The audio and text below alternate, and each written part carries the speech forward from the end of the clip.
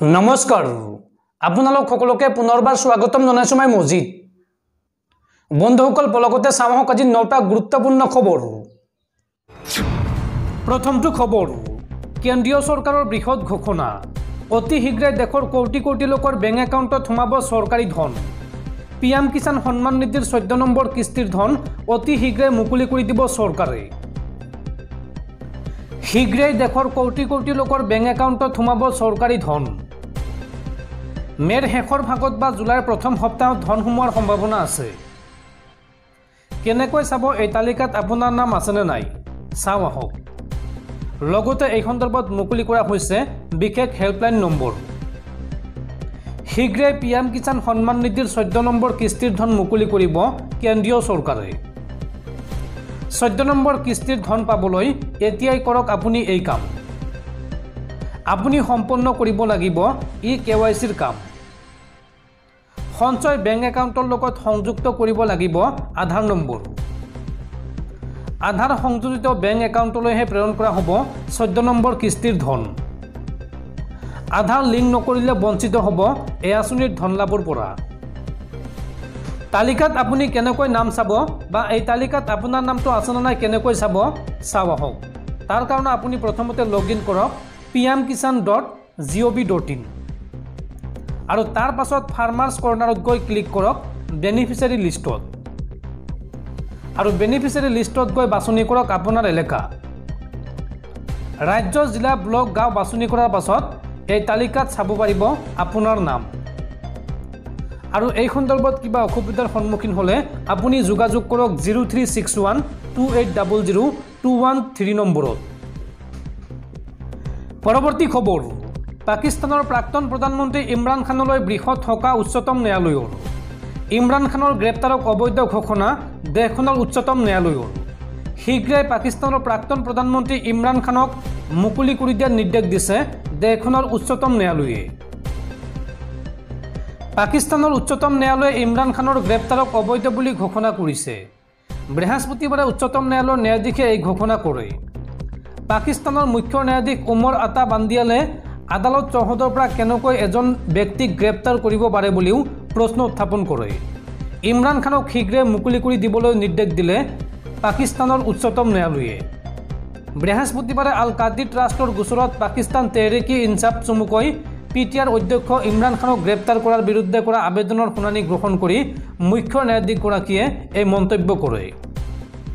পাকিস্তানৰ স্থানীয় সংবাদ মাধ্যমৰ খবৰ অনুসৰি উচ্চতম ন্যায়ালয়ে ৰাষ্ট্ৰীয় জবাবদিহিতা bureau national accountability bureau N A বিক এক ঘণ্টাৰ ভিতৰত পাকিস্তানৰ প্ৰাক্তন প্ৰধানমন্ত্ৰী ইমৰাণ খানক হাজিৰ কৰিবলৈ নিৰ্দেশ দিয়ে। সেই মৰ্মে বিয়লি চাৰি বাজি ত্ৰিছ মিনিটৰ ভিতৰত হাজিৰ হ'ব লাগিছিল যদিও পাঁচ বাজি চল্লিছ মিনিটত হাজিৰ কৰা হয়। পোন্ধৰখন বাহনৰ বেষ্টনীত ইমৰাণ খানক আদালতলৈ লৈ অনা হয়। উচ্চতম ন্যায়ালয়ৰ ৰায়দান ইমৰাণ খানৰ পাকিস্তান তেহৰিকি ইনচাফ দলৰ বাবে সকাহ হ'ব বুলি কোৱা হৈছে। পৰৱৰ্তী খবৰ সাৱধান। আহি আছে সাগৰীয় ঘূৰ্ণী বতাহ মোচা। অসমকে ধৰি উত্তৰ পূবৰ পাঁচখন ৰাজ্যত ধাৰাসাৰ বৰষুণৰ সম্ভাৱনা।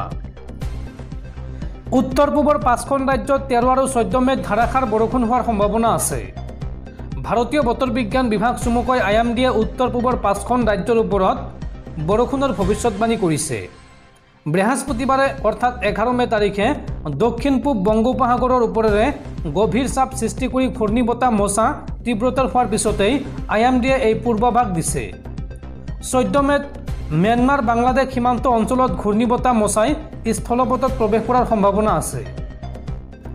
উত্তৰ পূবৰ এই তিনিখন ৰাজ্যৰ সীমা ম্যানমাৰ বা বাংলাদেশৰ সৈতে ভাগ হোৱাত মিজোৰাম মণিপুৰ আৰু ত্ৰিপুৰাৰ বাবে আই এম ডিয়ে এক সতৰ্কবাণী জাৰি কৰিছে। উল্লেখযোগ্য যে আই এম ডিয়ে উত্তৰ পূবৰ তিনিখন ৰাজ্য মিজোৰাম মণিপুৰ আৰু ত্ৰিপুৰাৰ বাবে অৰেঞ্জ এলাৰ্ট জাৰি কৰিছে। নাগালেণ্ড আৰু দক্ষিণ অসমত অৱস্থিত জিলাসমূহৰ বাবেও ধুমুহা বতাহৰ সৈতে ধাৰাসাৰ বৰষুণৰ সম্ভাৱনা আছে। উত্তৰ পূৰ্বাঞ্চলৰ ৰাজ্যসমূহত সপ্তাহৰ শেষৰ ফালে অভিলেখ পৰিমাণৰ ধাৰাসাৰ বৰষুণ প্ৰত্যক্ষ হ'ব। তেৰ মে'ত ত্ৰিপুৰা আৰু মিজোৰামত ধাৰাসাৰ বৰষুণ হ'ব আৰু চৈধ্য মে'ত বিভিন্ন স্থানত প্ৰবল বৰষুণ হ'ব। দেওবাৰে নাগালেণ্ড মণিপুৰ আৰু দক্ষিণ অসমত হ'ব নেৰানেপেৰা বৰষুণ। বন্ধুসকল তাৰপিছত চাৰি নম্বৰ খবৰটো জনোৱাৰ আগতে আপোনালৈ এটা সৰু ৰিকুৱেষ্ট যদি তেওঁলোকে এইটো ভিডিঅ'ত লাইক কৰা নাই তেন্তে প্লিজ এটা লাইক কৰি দিয়ক। আৰু এনেকুৱা ধৰণৰ নতুন নতুন ভিডিঅ' পাবলৈ চেনেলটো ছাবস্ক্ৰাইব কৰি কাষত থকা বেলাইকনটো প্ৰেছ কৰি ৰাখক। পৰৱৰ্তী খবৰ চিনেমা চালে মুখ্যমন্ত্ৰী হিমন্ত বিশ্ব শৰ্মাই। নিজৰ সতীৰ্থ কেবিনেট মন্ত্ৰীৰ সৈতে চালে দ্য কেৰালা ষ্টৰী। আৰু এই চিনেমাখন চাই উঠি মুখ্যমন্ত্ৰীয়ে মন্তব্য কৰিলে লাভ জেহাত নিৰ্মূল কৰাৰ বাবে ৰাইজে চাব লাগে দ্য কেৰালা ষ্টৰী। সকলোৱে নিজৰ কন্যা সন্তানক লগত লৈ চাবলৈ যাওক দ্য কেৰালা ষ্টৰী। এই মন্তব্য মুখ্যমন্ত্ৰী হিমন্ত বিশ্ব শৰ্মাৰ। লাভ জেহাত নিৰ্মূল কৰাৰ বাবে ৰাইজে চাব লাগে দ্য কেৰালা ষ্টৰী। অসমবাসী ৰাইজক ছবি গৃহলৈ গৈ দ্য কেৰালা ষ্টৰী চাবলৈ অনুৰোধ জনালে মুখ্যমন্ত্ৰীয়ে। সকলোৱে কন্যা সন্তানক লগত লৈ চাবলৈ যাওক the Kerala story. The Kerala story চাই অসমবাসী ৰাইজক বিশেষ আহ্বান জনালে হিমন্ত বিশ্ব শৰ্মাই। এই ছবিখনে কোনো ধৰ্মকে টাৰ্গেট কৰা নাই। মুছলমানৰ বিৰুদ্ধে নহয় এই ছবিখন। সন্ত্ৰাসবাদৰ বিৰুদ্ধেহে এই ছবিখন নিৰ্মাণ কৰা হৈছে। আই এছ আই এছৰ বিৰুদ্ধেহে এই ছবিখন নিৰ্মাণ কৰা হৈছে। এই ছবিখন নিষিদ্ধ কৰি ভুল সিদ্ধান্ত লৈছে পশ্চিমবংগ চৰকাৰে। সহজ সৰল মুছলমান যুৱতীৰ দুৰ্দশাৰ কথাও এই ছবিখনত দেখুওৱা হৈছে। ছবিখন চাই উঠি এই মন্তব্য কৰে অসমৰ মুখ্যমন্ত্ৰী ডক্টৰ হিমন্ত বিশ্ব শৰ্মাই। পৰৱৰ্তী খবৰ জাতিগত সংঘৰ্ষত জ্বলিছে অসমৰ চুবুৰীয়া ৰাজ্য মণিপুৰ। আজিও শান্ত হোৱা নাই মণিপুৰ। এইবাৰ ৰাজ্যখনৰ চুৰাচান্দপুৰ জিলাত সংঘটিত হৈছে হিংসাত্মক ঘটনা। কেতিয়াও অশান্তি কমা নাই মণিপুৰত। ৰাজ্যখনত পুনৰ হিংসাত্মক ঘটনাৰ খবৰ পোৱা গৈছে। এই খবৰ পোৱা গৈছে চুৰাচান্দপুৰ জিলাৰ পৰা।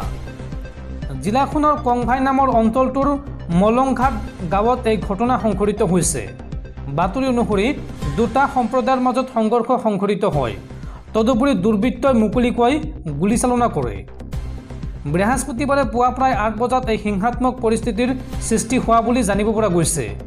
অঞ্চলটোত অগ্নিসংযোগৰ ঘটনা সংঘটিত হোৱা বুলি জানিব পৰা গৈছে আৰু পৰিস্থিতি নিয়ন্ত্ৰণ কৰিবলৈ ইতিমধ্যে নিৰাপত্তা বাহিনী ঘটনাস্থলীত উপস্থিত হৈছে। পৰৱৰ্তী খবৰ অসমত সংঘটিত হৈছে এইবাৰ এক ভয়ংকৰ ঘটনা। শিলচৰত কাৰাগাৰ ভাঙি পলাল হত্যাত অভিযুক্ত দুই অপৰাধী। কাছাৰ জিলাৰ শিলচৰ কেন্দ্ৰীয় কাৰাগাৰৰ পৰা বৃহস্পতিবাৰে অৰ্থাৎ এঘাৰ মে' তাৰিখে কাৰাগাৰ ভংগৰ ঘটনা সংঘটিত হৈছে কাছাৰ জিলাৰ শিলচৰ কেন্দ্ৰীয় কাৰাগাৰত আজীৱন কাৰাদণ্ডৰ শাস্তি ভুগি থকা কমেও দুজন হত্যাৰ অপৰাধীয়ে কাৰাগাৰৰ পৰা পলায়ন কৰিবলৈ সক্ষম হৈছে। বাতৰি অনুসৰি কাৰাগাৰৰ এখন দেৱালৰ পিনে গাঁত খান্দি শিলচৰ কাৰাগাৰৰ পৰা পলায়ন কৰিবলৈ সক্ষম হয় উক্ত অপৰাধী। বুধবাৰে অৰ্থাৎ দহ মে'ৰ গভীৰ নিশা সংঘটিত হয় এই ঘটনা। ইফালে কাছাৰ জিলাৰ শিলচৰ আৰক্ষীয়ে ঘটনা সন্দৰ্ভত তদন্ত আৰম্ভ কৰিছে। পৰৱৰ্তী খবৰ মুছলমানৰ বাবে থকা সংৰক্ষণ বাতিল কৰাৰ কথা নক'ব। এইবাৰ কেন্দ্ৰীয় গৃহমন্ত্ৰী অমিত শ্বাহক এই সকিয়নি দেশৰ উচ্চতম ন্যায়ালয়ৰ। দেশৰ উচ্চতম ন্যায়ালয়ে সকিয়নি প্ৰদান কৰিলে কেন্দ্ৰীয় গৃহমন্ত্ৰী অমিত শ্বাহক। কৰ্ণাটকৰ নিৰ্বাচনত অমিত শ্বাহে কৰা এটা মন্তব্যক সমালোচনা কৰিছে দেশৰ উচ্চতম ন্যায়ালয়ে। উল্লেখযোগ্য যে কৰ্ণাটক নিৰ্বাচনৰ প্ৰচাৰত ৰাজ্যখনত মুছলমানৰ বাবে থকা সংবিধান স্বীকৃত সংৰক্ষণ ব্যৱস্থা উঠাই লোৱা হ'ব বুলি অমিত শ্বাহে মন্তব্য কৰিছিল। আৰু ইয়াৰ বিৰোধিতা কৰি এনে বক্তব্য নিদিবলৈ সকীয়াই দিলে দেশৰ উচ্চতম ন্যায়ালয়ে। উচ্চতম ন্যায়ালয়ে কয় যে কৰ্ণাটকত চাৰি শতাংশ মুছলমানৰ সংৰক্ষণ আঁতৰোৱাৰ ক্ষেত্ৰত কোনো ৰাজনৈতিক মন্তব্য কৰিব নোৱাৰিব। উচ্চতম ন্যায়ালয়ে স্পষ্ট কৰি দিলে যে এই মুহূৰ্তত সমগ্ৰ বিষয়টোৰ বিচাৰ চলি আছে আৰু এই প্ৰেক্ষাপটত কোনো ৰাজনৈতিক মন্তব্য কৰাটো উপযুক্ত নহয়।